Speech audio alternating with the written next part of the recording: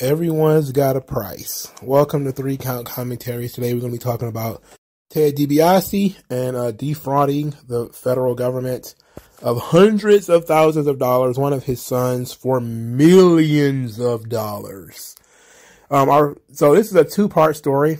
Uh, the first beginning begins November the 18th, 2021, uh, from the Mississippi Free Press. The other one is from 2022. So to give you a bit of a catch up of what's going on, it says Mississippi State Auditor Shad White has referred a case to the state's attorney general featuring NFL Hall of Famer Brett Favre and nine others who received millions in welfare dollars that should have gone to help the state's poorest. Uh, they're talking about Brett Favre, the uh, NFL football player. So the Republican auditor sent demand letters to Favre and others last month giving them 30 days to pay back the money to pay back money. The NFL star, a Kiln, Mississippi native who now lives in Hattiesburg, paid back $600,000 on October 12, 2021 after receiving White's letter, but not the full $828,000 White had demanded, which included Favre's which included interest. Oh, okay. So um, I guess Brett Favre paid back what he what he owed, but the government was like, "Nah, there's, there's interest on that, bud. Whatever. Um, it says so. It, talks primarily about Brett Favre in this article, but so what we are interested in is the Ted DiBiase part, right? It says since the demands letter went out, a spokesman for White's office told the Mississippi Free Press last night. I hate when they say last night and just put a date. No additional payment has been made outside of the six hundred thousand dollars from Favre, including the other individuals who or entities who received demands to pay the TANF, TANF funds. Those additional individuals or entities include former WWE wrestler Ted DiBiase Sr., known as the Million Dollar Man, who said, who White said must pay back seven hundred and twenty-two thousand dollars. I'm I'm rounding down, of course, seven hundred and twenty-two thousand dollars that his Christian ministry, Heart of David Ministries, received. DiBiase's son Ted Jr a retired WWE wrestler who White said owes $3.9 million. $3.9 million. DiBiase's other retired WWE wrestler son, Brett DiBiase, who White said owes $226,000. Brett DiBiase was among six indicted in early June 2020 and admitted to his role in defrauding the state's welfare system as part of December 2020 plea deal. So, Brett DiBiase already gave up the ghost and admitted that he had done something wrong. This is absolutely abysmal, of course. Um, I feel bad for these guys. So, the second article is from May 10th, 2022. Welfare Agency sues Brett Favre, 37 others over millions in Mississippi TANF funds. So it says the Mississippi Department of Human Services suing 38 people, including NFL Hall of Famer Brett Favre and retired WWE wrestler Ted DiBiase Sr., in an effort to recoup millions in misspent welfare funds that should have gone to needy families. Why didn't put WWE Hall of Famer? Ted DiBiase is in WWE Hall of Fame. Says the civil suit stems from a massive welfare fraud scheme involving former Mississippi Department of Health officials that the operators of several Mississippi nonprofits and other alleged beneficiaries of the misspent temporary assistance for needy families money. Um, it says the lawsuit demands 23.3 million from John Davis, the former MDHS head, who now faces 20 felony counts for his role and authorizing over $77 million in illegal TANF spending through nonprofits run by Nancy New and son Zach New, from whom the state seeks 19.4 million and 2.1 million respectively. There's a lot of money that gets slushed around in these welfare programs. This is why I'm against welfare programs, by the way. Try not to make it political, but how could you be for this stuff when, you know, we saw all sorts of people filing for stimulus money who had no business getting stimulus money? You know, this is the kind of stuff that, you know, is unfortunate, but it's happening out there in the real world. People are taking advantage of this thing. And, um, it's, it's real sad.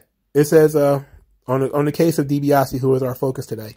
Says the auditor also said late last year that former WWE wrestler Ted DiBiase Sr., known popularly as the Million Dollar Man, owed $722,000 that his Christian ministry had received from misallocated funds. White said White said his sons, retired WWE wrestler Ted DiBiase Jr. and WWE wrestler Brett DiBiase, also owed the state money.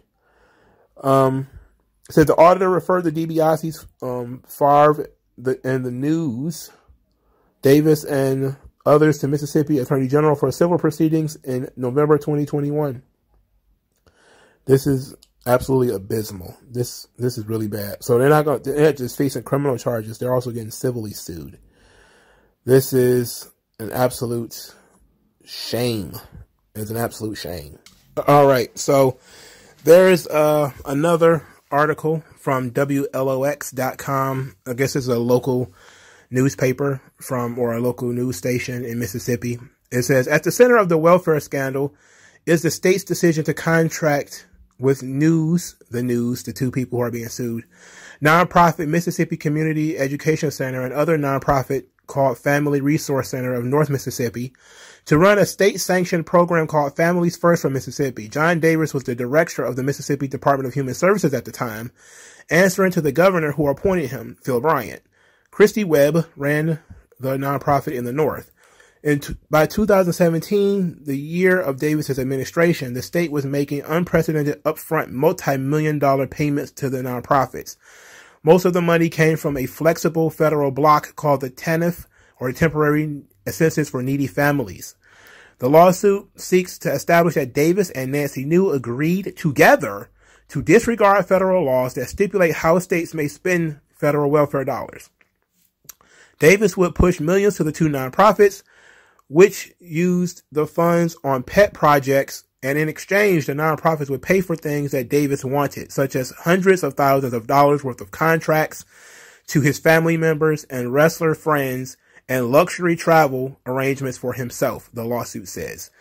That illegal quid pro quo agreement and conspiracy between Davis and the news resulted in all of the transfers of the TANF funds for non-TANF purposes.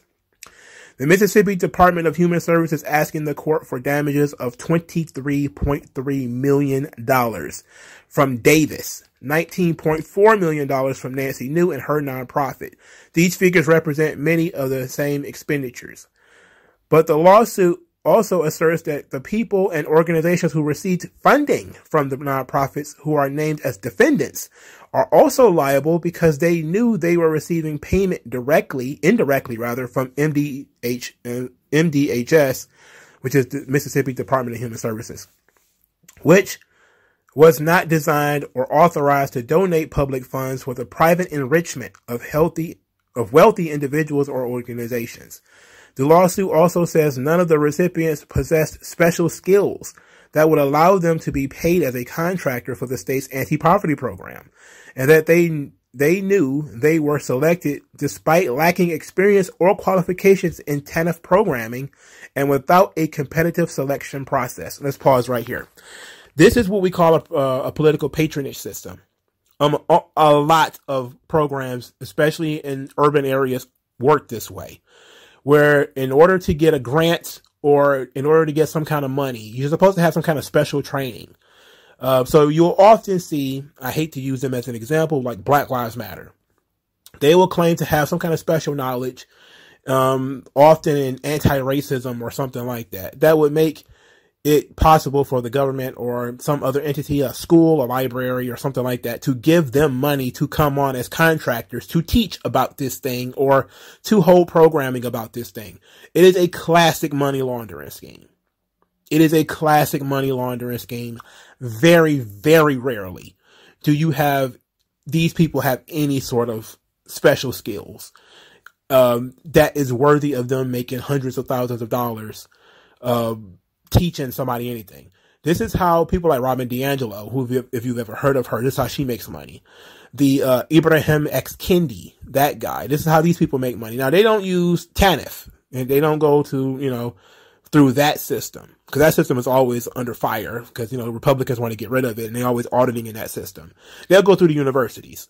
So they'll say, uh, hey, university, we want to teach about anti-racism or whatever. You pay me $40,000 an hour. And then the university will be like, okay, sure. And they'll give you $40,000 to come do programming on anti-racism as if you're, you know, that's something that that's really going to change the world. You know, so that's how these systems work. You know, you'll get hired as a contractor to do something, but it's a classic money laundering scheme. You're just a friend of somebody. Um, I think Kwame Kilpatrick did something similar to this. Well, he, you know, bring his friend on as a contractor for something else. And it's basically just a, you move money from, you move taxpayer money from one place to the other. It's real horseshit. Let's, uh, continue. the civil complaint represents just the first step of the state's pursuit of repayment, and attorneys may amend the filing to add defendants when the discovery process is underway. The circumstances outlined in the lawsuit echo Mississippi Today's reporting in its investigation investigative series The Back Channel, including Brett Favre's involvement in the use of MDMH funds to purchase personal investments in the pharmaceutical startup Prevacus, Prevacus, which was developing a treatment for concussions. Favre already knew that Nancy New had access to millions in few strings attached federal grant funds because he got her to pay $5 million towards the new volleyball stadium that the quarterback was credited with helping build at the alma mater University of Southern Mississippi text show. Now let's skip to the part where we're talking about the DiBiase's because I think that was a pretty good um, that laid the groundwork because they talk extensively about um, Brett Favre mainly because you know he's the he's the major guy here. Says a Hinds County grand jury re-indicted Davis in March of on new bribery, conspiracy charges. The new indictment says he acted in concert with or aided, among others, his sister, Twyla Smith, and her husband, the brother-in-law, Brian Smith, but officials have not yet charged any of the Smiths. After developing a close relationship with Ted, Teddy DiBiase Jr., Davis elevated the wrestler within the department and arranged for him and his companies to receive payment from the nonprofits, the lawsuit says. The wrestler received over $3 million in anti-poverty funds, to, among other things, quote, address the multiple needs of inner city youth. The lawsuit reads, though he possessed no qualifications to provide TANF services, he re- received duplicate payments of $70,000 from each nonprofit, but not, but quote, not in exchange for services actually performed by Teddy DiBiase, the lawsuit reads. Teddy DiBiase, who spent most of his workday hours accompanying John Davis at MDHS offices and on trips made no substantial effort to supply any such contractual services, either as an individual or through any organization or entity, the lawsuit reads. The lawsuit says Nancy New's other son, Jess New, an attorney and director of the Mississippi State Oil and Gas Board, helped arrange legal entities for Teddy DiBiase so the wrestler could receive more welfare funds. Davis also directed New to transfer $30,000 in TANF funds to the Northeast Mississippi Football Coaches Association, the lawsuit says, as a reward for the organization selecting Teddy DiBiase as its 2018 banquet speaker. This shit. Patronage. This guy was in government. That's why I'm always railing against the government. Teddy DiBiase's brother, Brett DiBiase, also received duplicate payments from each of the nonprofits totaling $600,000 and never performed services of any significance which served any lawful TANF purpose. Brett DiBiase, who also went to a luxury rehab clinic in Malibu on the nonprofit's dime and was paid as a TANF contractor while he was there, is only TANF subrecipient to face criminal charges. He pleaded guilty to fraud in 2020 and agreed to cooperate with the prosecutors. Oh boy. The lawsuit says Teddy DiBiase urged Davis to divert 1.7 million in TANF funds to his father Ted DiBiase Sr.'s ministry called Heart of David.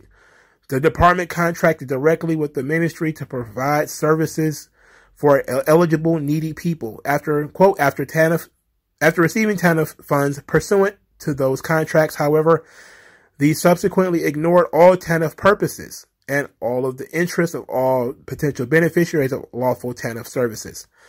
Ted DiBiase Sr. used some of the money for his personal expenses, did not maintain any personnel files or a financial management system. And while his organization maintained a website, one of the only visible public facing products of the program, quote, the website content was merely created at MDHS expense by an employee of MDHS as ordered by John Davis. The lawsuit reads Davis Webb and Family Resources Center employee Amy Davis also arranged for the nonprofit to pay Ted DiBiase Sr. a lump sum of $250,000 for motivational speaking. Motivational speaking. Motivational speaking. Lectures. Uh, when he received the check, Ted DiBiase Sr. emailed his sons, look what I got today, the lawsuit says. God damn it. God damn it. The lawsuit also asks for almost 2.9 million in damages from Teddy DiBiase and the same from his companies, almost 2 million from Ted DiBiase Sr., 1.7 million from Heart of David, $824,000 from Brett DiBiase, 48,000 from his company Restore 2 LLC and $160,000 from Rise in Malibu.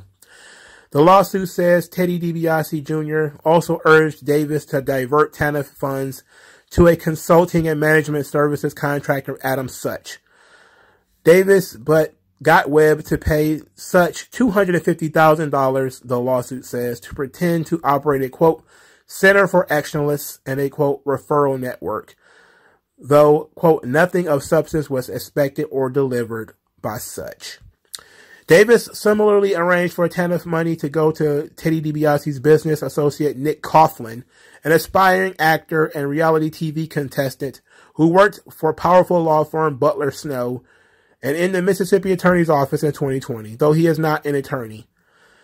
His degree is in business and marketing from Mississippi College, according to his resume. His resume says his skills are in marketing, brand management, economic development, and motivational speaking.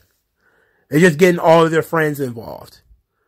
This is literally hungry, hungry hippos. Everybody that these motherfuckers know is getting involved with this with this fucking scheme. This is you gotta be kidding me, man.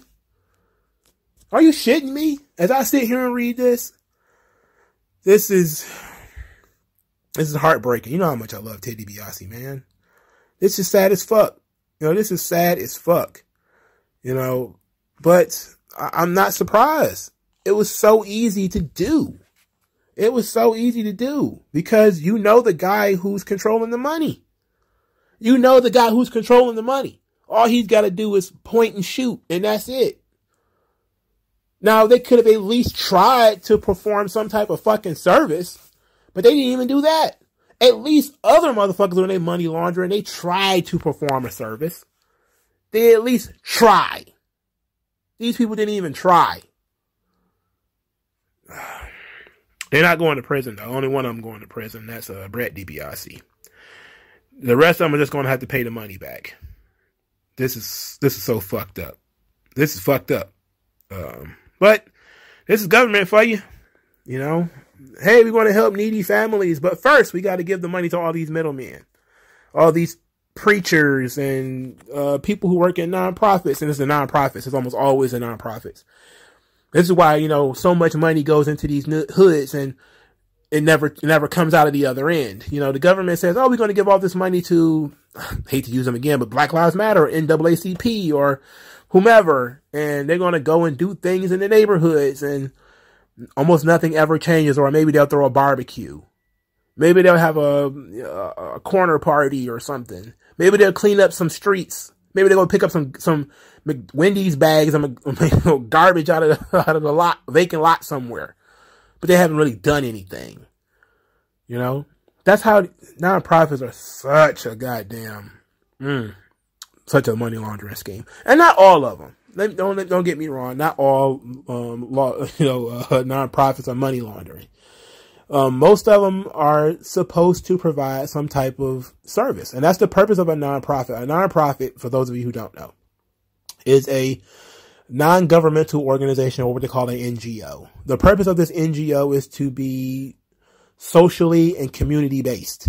You know, there's tons of nonprofits that exist in the world. For a long time, the NFL was a nonprofit. So that should tell you about nonprofits. You know, you, that, that, that's because you're called a nonprofit does not mean that you are prevented from making a profit. Okay. That needs to be separate. That's an aside. Nonprofit just means that that is not your intention. That your intention is to provide a good or service to a community. Museums are a nonprofit, right? Because museums, they make money. They don't make a lot of money though, because a new museum's purpose is to provide a service, which is all of the things that they provide in the museum. If it's pictures, uh, portraits, uh, paintings, art pieces, whatever, that's what it is. We have multiple museums here in Detroit that most of them probably shouldn't be nonprofits, but they are, you know, and there are people who really, really love the arts and they view the arts as something that's willing to be funded by government money. So they'll have to file for a grant and they'll have to become a nonprofit and they'll file for a grant. They'll get into some kind of art program. And then if they can prove that they provide, they have the people that they have to provide, prove it to however, are again going to be buddies with them. So you can question the validity of a museum or a zoo or something like that in your neighborhood, but it's probably going to be government funded. Okay. And in doing so, they have to provide that they are, they have to provide a service and that service will be the museum itself. Now you still may have to pay a cover fee, like here in Detroit. We don't have to pay for the DIA. Uh, I forget what it's called. Uh, uh, the DIA, yes, we don't have to pay for that anymore because it's funded by taxpayer money. And I voted against that. You know, so if you work at the DIA or you know somebody who works at the DIA, as much as I love it, I would rather pay to go in than pay and I go in there twice a year or something like that. You know, and I, I love going to the museum, but I don't see, I think it should be a for-profit institution. And to be quite honest, if it was a for-profit institution, it'd probably be better run. You know, it also probably would be out of business because, you know, it's a, a, certain class of people really like the museums. And that's really the thing about the arts, which makes the arts a perfect money laundering scheme is because only certain kinds of people actually patronize the arts. Um, if you guys weren't paying attention during the shutdown, the pandemic, New York City allowed artists to go back and do uh, what was this improvisational art or some shit they were doing on the street corners. They allowed them to do that stuff before they allowed restaurants to open back up. Because only certain people care about the arts. And once the arts start getting taxpayer money, classic money laundering scheme, it's just vote for us. We'll give you money. And that's just kind of how it works. The nonprofits, that sphere of the government, that government, uh, community organizational thing is so much money in there. And so you will see so many people now will not create a business. They'll create a nonprofit. They'll, oh, we're going to do something for young boys in the community. And then they'll file for a grant almost immediately. You know, they don't have anything. They don't have books. They don't have teachers. They don't have uh, uh organizational structure. They don't have a business plan. They don't have anything. But they'll go file for an LLC and then they'll go put in for a grant. And that's it. And they say, hey, we want to teach boys coping skills. And if you, you know, suck up to the right people, you'll get a contract to teach boys coping skills. Whatever that means.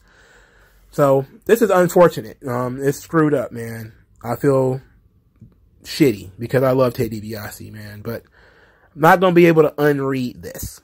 This is fucked up. You know, let, let me know what you guys think. Like, share, and subscribe. And I'll talk to you guys later, man. Peace.